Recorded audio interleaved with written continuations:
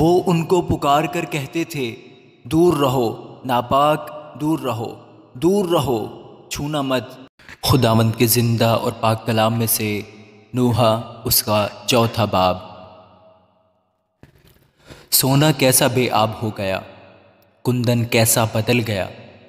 مقدس کے پتھر تمام گلی کوچوں میں پڑے ہیں۔ سیون کے عزیز فرزند جو خالص سونے کی مانند تھے۔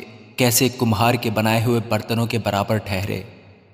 گیدڑ بھی اپنی چھاتیوں سے اپنے بچوں کو دودھ پلاتے ہیں۔ لیکن میری دختر قوم بیابانی شتر مرغ کی مانند بے رحم ہے۔ شیر خوار کی زبان پیاس کے مارے تالو سے جا لگی۔ بچے روٹی مانگتے ہیں، لیکن ان کو کوئی نہیں دیتا۔ جو ناز پروردہ تھے، گلیوں میں تباہ حال ہیں۔ جو بچپن سے ارغوان پوش تھے مزبلوں پر پڑے ہیں۔ کیونکہ میری دختر قوم کی بد کرداری صدوم کے گناہ سے بڑھ کر ہے، جو ایک لمحہ میں برباد ہوا اور کسی کے ہاتھ اس پر دراز نہ ہوئے۔ اس کے شرفا برف سے زیادہ صاف اور دودھ سے زیادہ سفید تھے۔ ان کے بدن مونگے سے زیادہ سرخ تھے۔ ان کی جھلک نیلم کی سی تھی۔ اب ان کے چہرے سیاہی سے بھی کالے ہیں۔ وہ بازار میں پہچانے نہیں چاہتے ان کا چمڑا ہڈیوں سے سٹا ہے۔ وہ سوکھ کر لکڑی سا ہو گیا۔ تلوار سے قتل ہونے والے بھوکوں مرنے والوں سے بہتر ہیں، کیونکہ یہ کھیت کا حاصل نہ ملنے سے اڑ کر ہلاک ہوتے ہیں۔ رحم دل عورتوں کے ہاتھوں نے اپنے بچوں کو پکایا۔ میری دختر قوم کی تباہی میں وہی ان کی خوراک ہوئے۔ خداوند نے اپنے غضب کو انجام دیا۔ اس نے اپنے کہر شدید کو نازل کیا۔ اس نے سیون میں آگ بھڑکائی۔ جو اس کی بنیاد کو چٹ کر گئی۔ روئے زمین کے بادشاہ اور دنیا کے باشندے باور نہیں کرتے تھے کہ مخالف اور دشمن یاروشلم کے پھاٹکوں سے گھس آئیں گے۔ یہ ان کے نبیوں کے گناہوں اور کاہنوں کی بد کرداری کی وجہ سے ہوا۔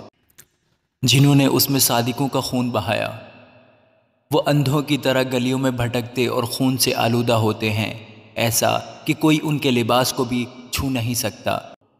وہ ان کو پکار کر کہتے تھے دور رہو، ناپاک دور رہو دور رہو، چھونا مت۔ جب وہ بھاگ جاتے اور آوارہ پھرتے تو لوگ کہتے تھے، اب یہ یہاں نہ رہیں گے۔ خداوند کے کہر نے ان کو پراگندہ کیا، اب وہ ان پر نظر نہیں کرے گا۔ انہوں نے کاہنوں کی عزت نہ کی اور بزرگوں کا لحاظ نہ کیا۔ ہماری آنکھیں باطل مدد کے انتظار میں تھک گئیں۔ ہم اس قوم کا انتظار کرتے رہے جو بچا نہیں سکتی تھی۔ انہوں نے ہمارے پاؤں ایسے باندھ رکھے ہیں کہ ہم باہر نہیں نکل سکتے۔ ہمارا انجام نزدیک ہے۔ ہمارے دن پورے ہو گئے۔ ہمارا وقت آ پہنچا۔ ہم کو رگیدنے والے آسمان کے عقابوں سے بھی تیز ہیں۔ انہوں نے پہاڑوں پر ہمارا پیچھا کیا۔ وہ بیابان میں ہماری گھات میں بیٹھے۔ ہماری زندگی کا دم خدامند کا ممسوح ان کے گھڑوں میں گرفتار ہو گیا، جس کی بابت ہم کہتے تھے کہ اس کے سایت لے ہم قوموں کے درمیان زندگی بسر کریں گے۔ اے دختر ادوم جو اوز کی سرزمین میں بستی ہے، خوش و خرم ہو۔ یہ پیالہ تجھ تک بھی پہنچے گا، تو مست اور برہنہ ہو جائے گی۔ اے دختر سیون، تیری بد کرداری کی سزا تمام ہوئی، وہ تجھے پھر اسیر کر کے نہیں لے جائے گا۔